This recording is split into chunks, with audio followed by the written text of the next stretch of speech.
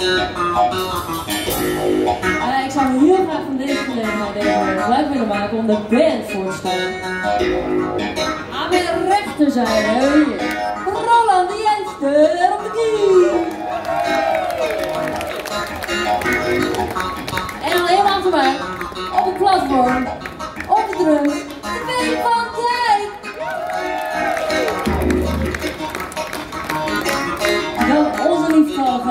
this. If you ain't one, and that's good not news. Oh, the bizarre. What in fuck? Ladies and gentlemen, are you lucky tonight?